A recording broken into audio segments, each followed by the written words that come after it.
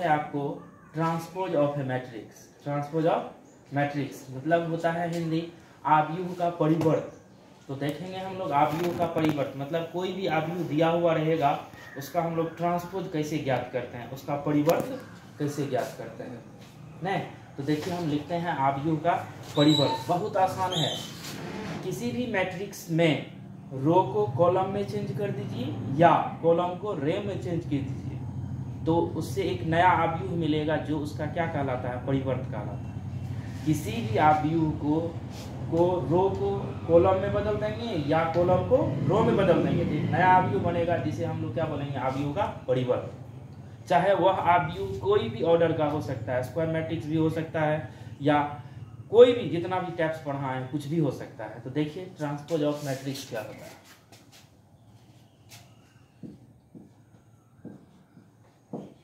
Transpose of a matrix Hindi होता है, आव्यूह का परिवर्त। आव्यूह का परिवर्त।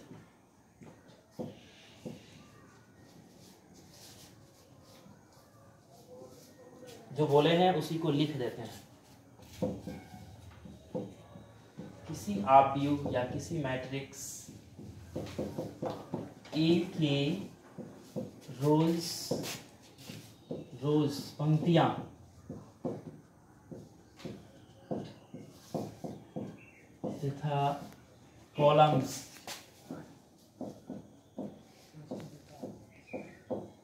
स्तंभों।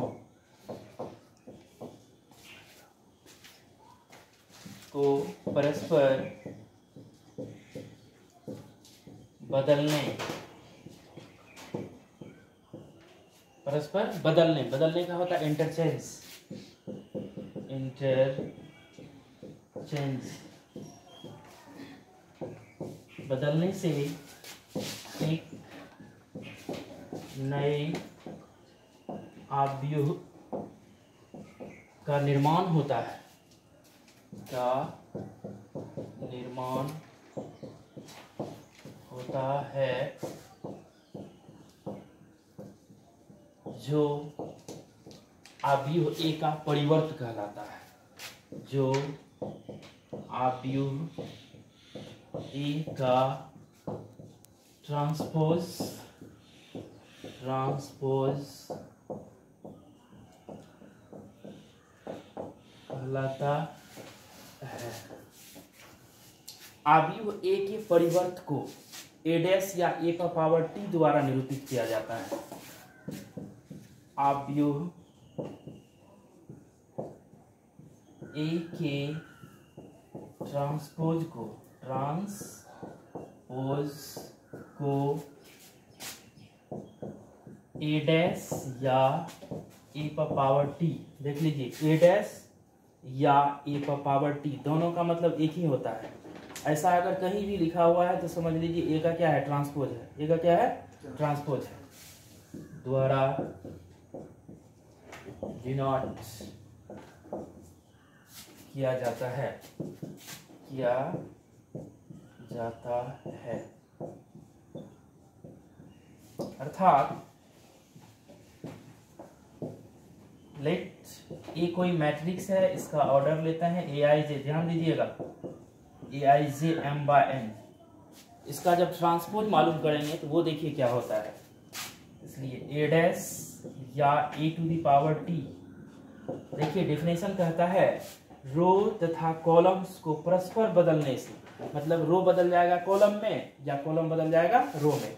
रो को कॉलम में बदल दीजिएगा ना तो ऑटोमेटिक बदल जाएगा। जैसे देखिए यहाँ। ए आई जे है। आई ये रो है। जे क्या है? कॉलम है। रो बदलेगा किसमें? कॉलम। में या कॉलम बदलेगा किसमें रो में? ये हो जाएगा ए जे आई। ध्यान दीजिए। और इसमें एम रो एन कॉलम तो बदलेगा तो ये हो जाएगा एन बाय एम का। देख लीजिए ये है आपको ट्रांसपोज। चाहे कोई भी अवयव दिया हुआ रहेगा उसका परिवर्त कहेगा ज्ञात करने के लिए ऐसे रो कॉलम को हम लोग क्या करेंगे? चेंज कर देंगे। ये तो इस तरह का एग्ज़ाम्पल दिया। अब हम एक डिजिट वाला एग्ज़ाम्पल देंगे। जो कैसे रो को कॉलम में चेंज करेंगे और एक ट्रांसपोज प्राप्त होता है। आप लोग लिखिए, अगर लिखना है तो।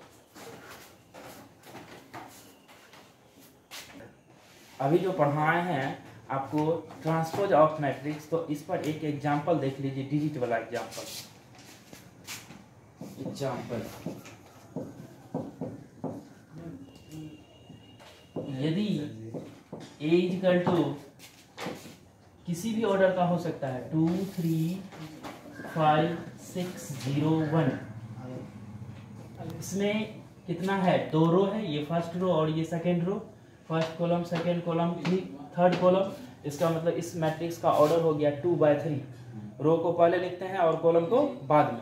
इसका ऑर्डर हो जाएगा टू बाय थ्री तो ए डैश या ए पावर टी ज्ञात करें। ज्ञात करें। ध्यान दीजिएगा। ए डैश या ए पावर टी ज्ञात करें। हेयर हेयर मतलब होता है यहाँ ए डैश या A to the power T हम अभी पढ़ाए हैं आपको। रो को बदल देना है किसमें? कॉलम में। या कॉलम को बदल देना है रो कोई एक काम करना है। ये रो है। ये क्या है? रो ये किसमें बदल जाएगा? कॉलम में। टू थ्री फाइव ये रो है। किसमें बदल जाएगा? कॉलम में सिक्स ज़ीरो वन। देखिए इसका ऑर्डर है टू बाई थ्री इसका ऑर्डर हो जाएगा थ्री बाई टू यही है आप व्यू का परिवर्त। यही है आप व्यू का परिवर्त। जैसे ही रो को बदलिएगा कॉलम में कॉलम ऑटोमेटिक बदल जाएगा रो में। देख लीजिए ये रो को आपने बदला किसमें? कॉलम में।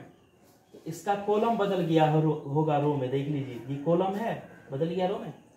तो इस तरह से कहेगा, कोई आदमी दिया हुआ रहेगा, कहेगा उसका ट्रांसपोज ज्ञात करने के लिए रो को किसमें बदल देना है? कॉलम में या कॉलम को बदल देना है रो में? कोई एक काम करना है। कोई दिक्कत? ठीक है। एडिशन का आपने प्रॉपर्टीज़ देखा मल्टीप्लीकेशन का आपने प्रॉपर्टीज़ देखा, ठीक उसी तरह से इसका भी परिवर्ती होगा। किसका? आव्यूह के परिवर्त का। तो अब देखेंगे टॉपिक होगा आपको प्रॉपर्टीज़ किसका? ट्रांसपोज ऑफ़ मैट्रिक्स का मतलब आव्यूह के परिवर्त का गुण प्रॉपर्टीज़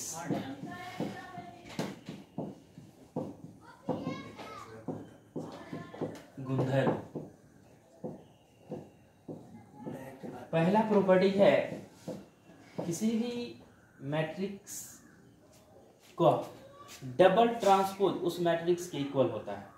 किसी भी मैट्रिक्स का डबल ट्रांसपोज जो है, जो मैट्रिक्स रहेगा, वही होगा। ए डैश फिर एक डैश ये किसके बराबर होता है? ए के बराबर। याद रखिएगा। ए का डबल डैश किसके इक्वल ए बी का डबल डैश बी सी का डबल डैश सी मतलब किसी भी मैट्रिक्स का दो बार अगर ट्रांसपोज करेंगे तो जो पहले मैट्रिक्स था वही प्राप्त होगा। इसको प्रूफ करके दिखाते हैं। ये सब विज्ञाई है, पूछता है बोर्ड एग्ज़ाम में ऑब्जेक्टिव में। ऑब्जेक्टिव में ये सब क्वेश्चन रहता है। लेट कर लेते हैं ए कोई मैट्रिक्स है, इसका ऑर्डर लेते हैं A I J M by N आपके बुक में डिजिट वाला एग्ज़ाम्पल दिया है या उस पर सवाल भी दिया है बनाने के लिए, इस मेथड को सीखिए, ये अच्छा है। इसलिए ए डैश ए डैश का मतलब है, ये हो जाएगा ए जी आई क्या होगा? ए जी आई एन बाय अभी तुरंत पढ़ाए हैं रो को बदल देना है किसमें? कॉलम में। ये रो बदल गया किसमें? कॉलम में। जो कॉलम था वो क्या बदल गया? रो ये रो बदल गया किसमें? कॉलम। जो कॉलम था वो क्या बन गया? रो। इसका एक बार और करना है ट्रांसपोज। नाउ ए डैश तो है ही इसका एक बार। और फिर ये रो बदल जाएगा किसमें? कॉलम में। ये रो किसमें बदलेगा? कॉलम में। तो ये हो जाएगा ए आई जे और ये फिर हो जाएगा एम वन एन मतलब ए के बराबर हो गया।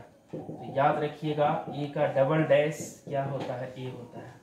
किसी भी आव्यूह का डबल ट्रांसपोज उस आव्यूह के क्या होता है? इक्वल होता है। दूसरा प्रॉपर्टीज़ है, पहले इसको लिख लीजिए दूसरा प्रॉपर्टी है, दो आव्यूह को जोड़ेंगे, जब उसका ट्रांसपोज करेंगे तो अलग अलग आव्यूह के ट्रांसपोज के योगफल के क्या होता है? बराबर होता है। दो आव्यूह के योगफल का ट्रांसपोज अलग अलग आव्यूह के योगफल के ट्रांसपोज के क्या होता है? इक्वल होता है। ऐसे। ए प्लस बी का जब डैश रहेगा, ये होगा ए डैश जोड़ B dash A dash plus B dash दो आव्यूह का एडिशन उसका ट्रांसपोज आव्यूह के ट्रांसपोज के एडिशन के क्या होता है? इक्वल होता है। प्रूफ लेट कर लेते हैं। ए मैट्रिक्स है। A I J M by N एक बात ध्यान दीजिए। यहाँ ए और बी एडिशन है। तो दो आबियों का एडिशन तभी संभव होता है जबकि दोनों का ऑर्डर सेम होता है।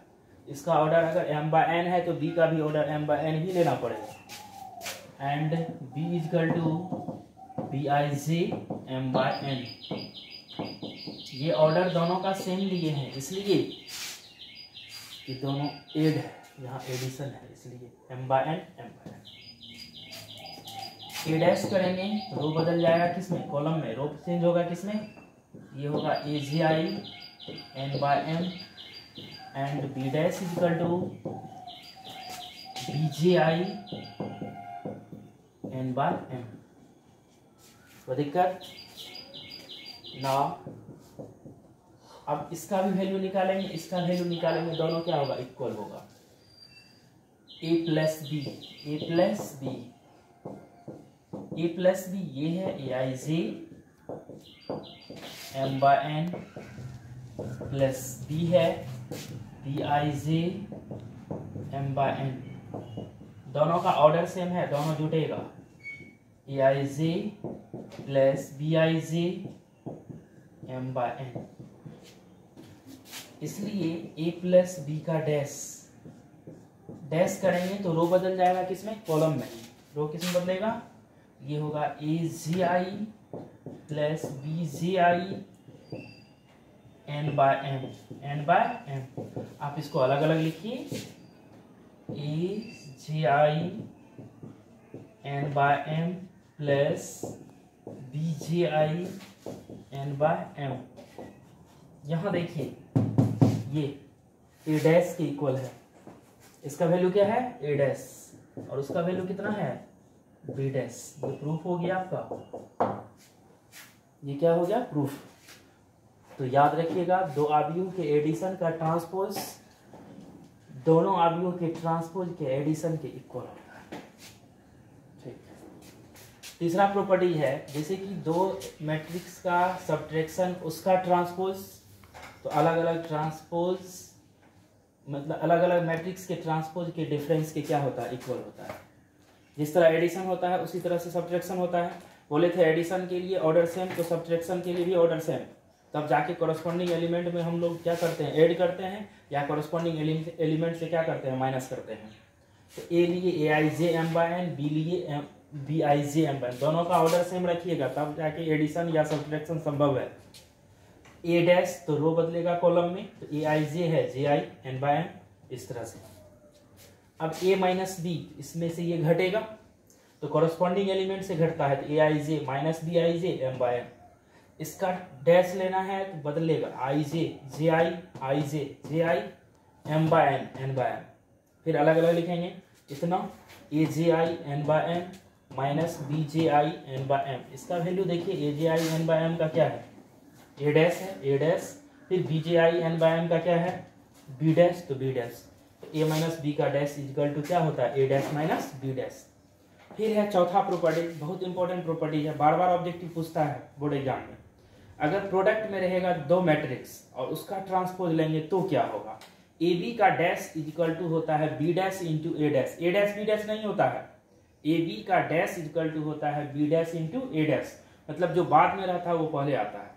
इस तरह से पी क्यू का dash Q dash into P dash B C का dash C dash into B dash अब वही प्रॉपर्टीज़ बताएँगे। प्रॉपर्टी तीन प्रॉपर्टी बता दिए है ना? चौथा प्रॉपर्टीज़ है ये देखो A B into A B ये प्रोडक्ट में है इसका डैश होता है बी डैश ए डैश ये ऑब्जेक्टिव में पूछता है और लड़का मिस करता है इसको बनाने में कहो क्या? दे देगा, तुमको ए बी का डैश इजिकल टू चार ऑप्शन दिया हुआ रहेगा। A dash into B dash B dash into A dash A B का डैश इस तरह से नन ऑफ़ दीज तो देख लीजिए, जो बाद में होता है, वो पहले होता है। इसमें मारिएगा नहीं तो लड़का सब मार देता है A dash into B dash plus वाला उसको याद रहता है ए प्लस बी का डैश ए डैश जो बी डैश तो ए पहले ना आता है उसमें, इसमें भी लिख देता है A dash into B dash वो गलत हो जाएगा। B dash into A dash क्या होता है? बी डैश इंटू इस तरह से कोई भी रहेगा पी क्यू का डैश रहेगा तो Q dash into P dash B C रहेगा बी सी का डैश तो C dash into B dash हमेशा बाद वाला का डैश इंटू पहले वाला का डैश अच्छा है, इसको देखिए प्रूफ ये देखो प्रोडक्ट में है. तो बोले थे, दो आदमियों का अगर मल्टीप्लीकेशन होता है तो फ़र्स्ट का कॉलम सेकंड का रो इक्वल होना चाहिए. तो इस तरह से मानेंगे जो उस कंडीशन का फुलफिल करे. लेट कर लेते हैं. A is equal to A I J M by N and B is equal to ध्यान दीजिए कैसे मानते हैं. इसका कॉलम उसका क्या बनेगा? रो बनेगा. यहाँ लेंगे बी जे के इसका कॉलम इसका क्या बन गया? रो फिर इसका कॉलम उसका क्या बनेगा? Row N into T N by T अब जब इसका डैश करेंगे ए डैश तो ए डैश क्या होगा? J I N by M and B dash जो होगा, वो होगा बी के जी बी के जे पी बाय एन अब ए बी निकालेंगे। क्या निकालेंगे? Therefore A B A का वैल्यू है A I J M by N और बी का वैल्यू है B J K N by P देखिए इसको मल्टीप्लाई कैसे करते हैं? सिग्मा क्योंकि मल्टीप्लाई करके एलिमेंट को ऐड किया जाता है, इसलिए सिग्मा और यहाँ एन कॉलम है, इसमें एन रो है, ये एन एन समाप्त होगा। तो एन कॉलम है तो J is equal to one to N और ये होगा ए आई जे पी जे के इसका ऑर्डर होगा, आपको बताए थे, जो समाप्त होता है वो हट जाएगा। इसका ऑर्डर होगा एम बाय पी इसका ऑर्डर क्या होगा? एम बाय पी अब देखिए नाउ ए बी का डैश इसका क्या निकालेंगे? डैश निकालेंगे। डैश तो रो बदल जाएगा कॉलम में आई जी हो जाएगा जी आई सिग्मा तो रहेगा ही, और ये हो जाएगा ए जी आई और ये बी के जी बी के जी और ये होगा P by M P by M equation one equation one अब क्या करना है? फिर बी डैश ए डैश का वैल्यू निकालना है। किसका निकालना है? बी डैश ए डैश का। देखिए, इधर बता देते हैं B dash A dash and B dash A dash B dash का वैल्यू प्राप्त है, वहाँ देखिए। बी के से P by N into A dash A dash है A J I N by N इसका कॉलम इसका रो इक्वल है मल्टीप्लाई संभव है। तो इसको मल्टीप्लाई करेंगे, यहाँ एन एन समाप्त होगा तो यहाँ लिखेंगे sigma j equal to one to n one to one to हाँ one to n p k j a जी आई और ये देना है पी बाय एम क्या होगा? पी बाय एम ये एन एन समाप्त होगा पी बाय एम आप इसको ऐसे थोड़ा सा लिख लेंगे sigma j equal to one to n यहाँ देखिए ए जे आई बी के जे है उस रूप में कोई बात नहीं है। जैसे ये तो एलिमेंट है ना टू इंटू थ्री लिखिए थ्री इंटू टू लिखिए इक्वल बात है। तो ये बी के जे ए जे आई आप उस फॉर्म में लिख सकते हैं ए जे आई into B k j b k j p by n आप इक्वेशन वन एंड टू को देखिए आर एच एस इक्वल है। एल एच एस क्या होगी? इक्वल होगी। लिखेंगे from equation one and two from equation one and two ये ए B का डैश जो होता है, वो इक्वल होता है b dash into a dash का।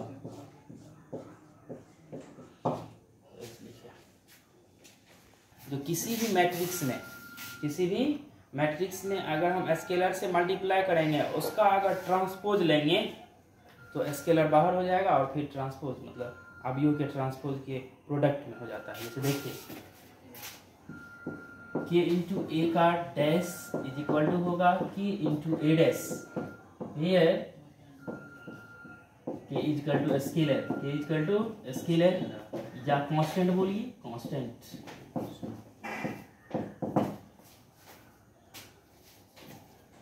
Proof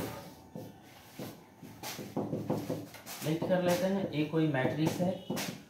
A i g m by m m by m a dash करेंगे तो ए डैश का मतलब ये रो बदलेगा कॉलम में, ये होगा a j i a j n by m a dash now k into a k into a k a का वैल्यू है a i j m by n और ये होगा के सी मल्टीप्लाई होगा, इस तरह से k a i j m by n therefore k a का डैश डैश किए हैं। रो बदल जाएगा किसमें? रो चेंज हो जाएगा किसमें? कॉलम में। यहाँ देखिए तो के तो रहेगा ही, और ये होगा ए जी आई और एन बाय एन इस तरह से के फिर निकल जाएगा, और ये होगा a g i n by n और ये के और इसका वैल्यू देखिए क्या है। ए डैश के इक्वल है। ये प्रूफ्ड हो गया। पाँच प्रॉपर्टीज़ था इसका। अब है फिर सेमेट्रिक एसक्यू सेमेट्रिक ऑर्थोगोनल मतलब सम्मिताव्यू होता है सेमेट्रिक मैट्रिक्स विषम सम्मिताव्यू होता है एसक्यू सेमेट्रिक मैट्रिक्स और लंब आव्यू होता है ऑर्थोगोनल मैट्रिक्स अब इसको देखेंगे बारी बारी से। सवाल बनाने के लिए है और बोर्ड एग्ज़ाम में ऑब्जेक्टिव रहता है। सेमेट्रिक एसक्यू सेमेट्रिक और ऑर्थोगोनल सेमेट्रिक होगा सम्मिताव्यू एसक्यू सेमेट्रिक होगा, विषम सम्मिताव्यू और क्या कहते हैं? ऑर्थोगोनल होगा लंब आव्यू तो तीनों को देखेंगे हम लोग। एक ऑब्जेक्टिव या दो ऑब्जेक्टिव पूछता है। ये देखिए सम्मित आव्यू सम्मित आव्यू इंग्लिश होता है सेमेट्रिक मैट्रिक्स सेमेट्रिक मैट्रिक्स इसमें एक बात ध्यान रखिएगा। सेमेट्रिक एसक्यू सेमेट्रिक जब भी होगा तो केवल स्क्वायर मैट्रिक्स का होगा। किसी भी मैट्रिक्स का ये सम्मित और विषम सम्मित नहीं होता है। जब भी होगा तो वो क्या होगा? केवल स्क्वायर मैट्रिक्स का सेमेट्रिक और एसक्यू सेमेट्रिक मैट्रिक्स होगा। तो देखिए हम लिखते हैं इसके बारे में, सम्मित आवियों के बारे में। कोई square matrix square matrix a symmetric matrix कहलाता है। सेमेट्रिक मैट्रिक्स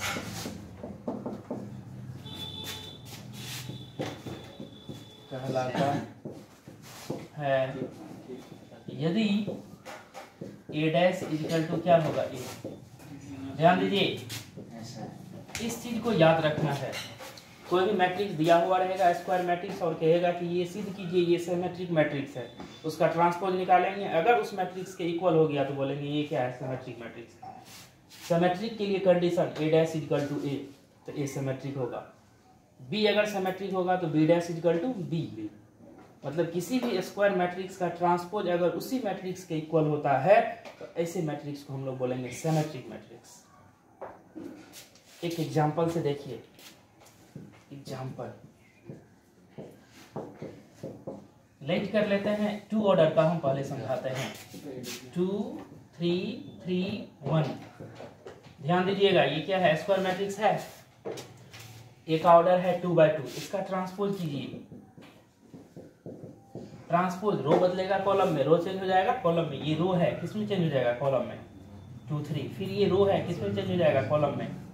थ्री वन गौर से देखिए रो को कॉलम में चेंज किए। कोई चेंजिंग नहीं हुआ है। वही चीज़ है same two three three one two three three one है। और ये किसके इक्वल हुआ? ए के इक्वल तो इस तरह के आव्यू को हम लोग बोलेंगे सम्मित आव्यू सेमेट्रिक मैट्रिक्स अतः ए एक सेमेट्रिक मैट्रिक्स है। ए एक क्या है? सेमेट्रिक मैट्रिक्स है। जब भी होगा स्क्वायर मैट्रिक्स होगा। देखिए। थ्री ऑर्डर का देखिए, कैसे देता है। एग्ज़ाम्पल टू स्क्वायर मैट्रिक्स लेना है। देखिए, मानने का तरीका यही है। मानने का तरीका है, देखो वन टू थ्री अगर वन टू थ्री रो में दिए हैं तो कॉलम में भी लिखिए वन टू थ्री देखो, तरीका कैसे मानते हैं। वन टू थ्री रो में लिखे हैं तो कॉलम में भी लिखिए। अगर हम फाइव दिए यहाँ सिक्स दिए तो इधर भी होना चाहिए टू फाइव सिक्स तो इधर भी होना चाहिए टू फाइव सिक्स जो एलिमेंट देना है यहाँ दे दीजिए। इसका डैश कीजिएगा हमेशा ए ये होगा। Three by three a dash करो रो को बदलो कॉलम में। इस रो को बदलिए कॉलम में। रो को बदलिए कॉलम में। क्या कोई चेंजिंग है? देखो तो।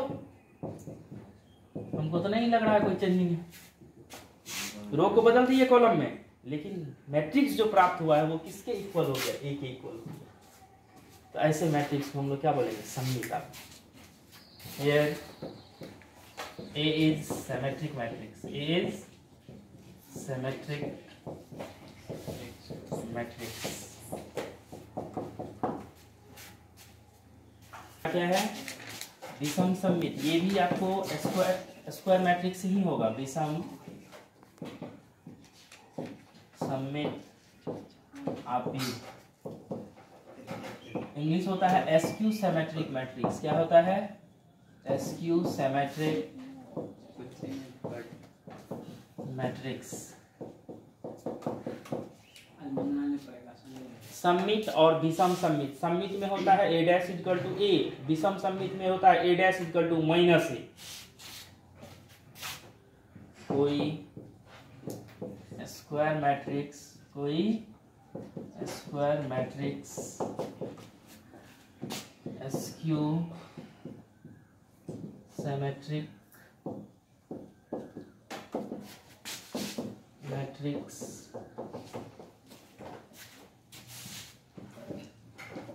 कहलाता है। यदि ए डैश इजकल टू क्या होगा? माइनस ए इसको याद रखना है।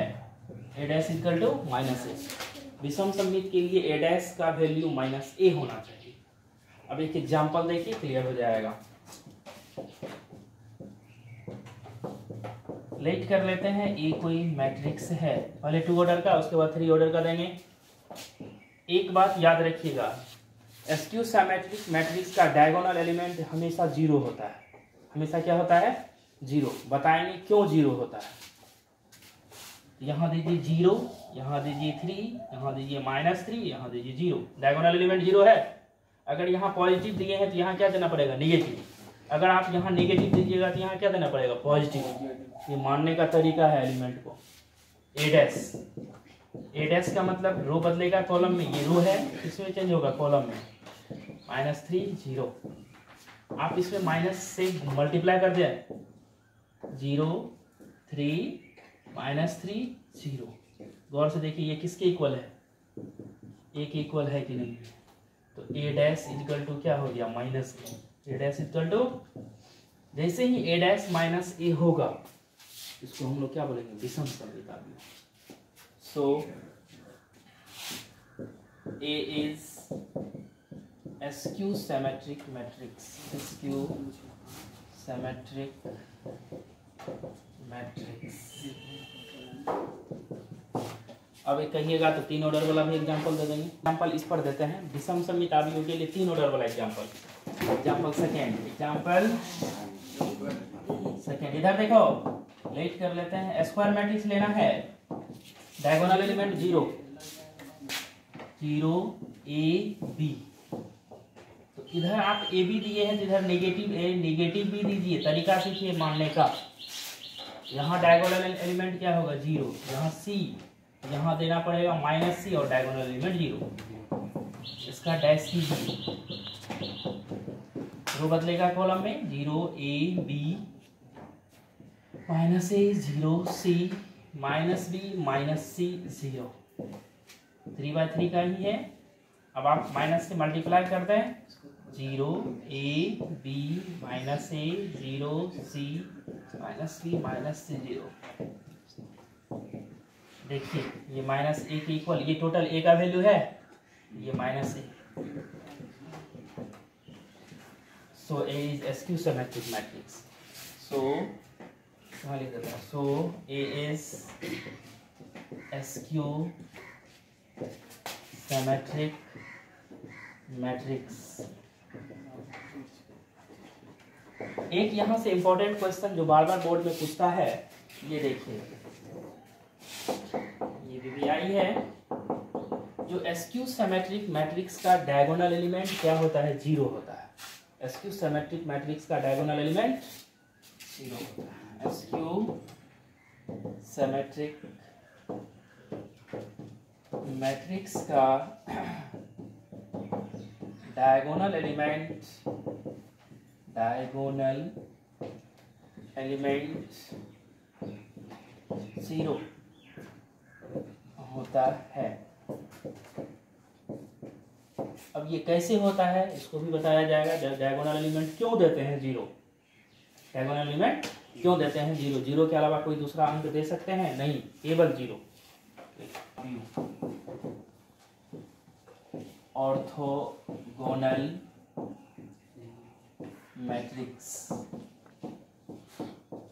ये आपके एनसीईआरटी में नहीं है, लेकिन के सिन्हा में है, आर डी शर्मा में है किसी भी बुक से बनाइएगा तो वहाँ प्रॉब्लम होगी, इसलिए बता देते हैं लंबा भी ऑर्थोगोनल मैट्रिक्स। हमेशा याद रखिएगा सेमेट्रिक एसक्यू सेमेट्रिक और ऑर्थोगोनल के लिए स्क्वायर मैट्रिक्स ही होगा, कोई दूसरा मैट्रिक्स नहीं होगा। कोई square matrix square matrix e orthogonal matrix कहलाता है। ऑर्थोगोनल मैट्रिक्स ये पार्ट वन में भी है, ये ऑर्थोगोनल मैट्रिक्स ऑर्थोगोनल मैट्रिक्स कहलाता है। यदि a dash into a equal to i इस कंडीशन को याद रखना है। A dash into a equal to i i क्या है? Unit matrix i equal to unit matrix unit matrix इकाई आव्यूह होता है? क्या होता है? इकाई या तस्मक आव्यूह इकाई आव्यूह ए अगर टू बाई टू का होगा ऑर्डर इसका टू बाई टू तो आई का भी ऑर्डर टू बाई टू होना चाहिए। ए होगा थ्री बाई थ्री का तो आई होगा भी थ्री बाई थ्री का। तो a dash into a equal to अगर आई होता है ए दिया हुआ रहेगा कहेगा कि सिद्ध कहेगा क्वेश्चन में ए दिया हुआ रहेगा। कहेगा सिद्ध कीजिए, या दर्शाइए कि ये ऑर्थोगोनल मैट्रिक्स है तो उसका ट्रांसपोज निकालेंगे, दोनों को मल्टीप्लाई करेंगे। मल्टीप्लाई करने के बाद अगर आई प्राप्त होता है तो उसको हम लोग बोलेंगे ऑर्थोगोनल मैट्रिक्स आज इतना ही रहेगा इस वीडियो में। अगला वीडियो में हम आप लोगों को बताएँगे क्या? इसका प्रॉपर्टीज़ सेमेट्रिक एसक्यू सेमेट्रिक का प्रॉपर्टीज़ अगर आप लोगों को अच्छा लगे तो इसको शेयर कीजिएगा। अगर कोई दिक्कत है तो कमेंट में ज़रूर लिखिएगा, ताकि हम अगले वीडियो में इसको परेशानी मतलब इस परेशानी को दूर कर सकें। धन्यवाद।